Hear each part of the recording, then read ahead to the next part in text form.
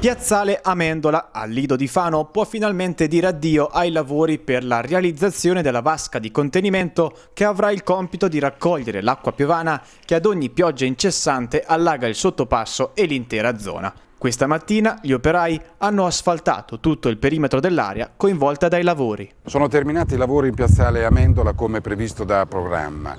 È chiaro, dovevano essere finiti già da due mesi, ma non, non possiamo dimenticare che nel frattempo c'è stato un lockdown, c'è stata una pandemia che ha bloccato le attività lavorative di tante aziende, tra cui anche questa.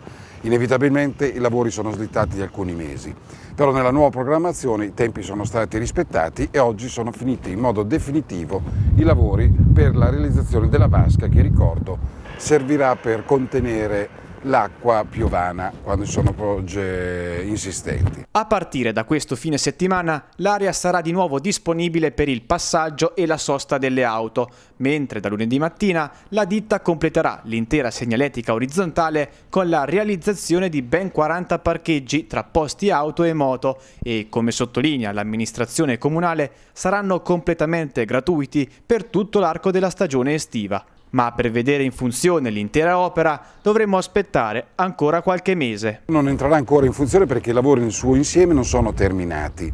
Questo lo diciamo, onde evitare anche inutili polemiche, quindi a fine estate riprenderanno i lavori per l'installazione delle centraline che metteranno in funzione tutti gli impianti, le pompe per il trasferimento delle, delle acque. Quindi per quest'estate, se ci saranno ancora delle piogge, inevitabilmente il problema rimane. Al termine delle centraline, quindi dopo settembre, quindi penso fine ottobre, entrerà tutto in funzione e al Lido in modo definitivo sarà risolto il eh, problema.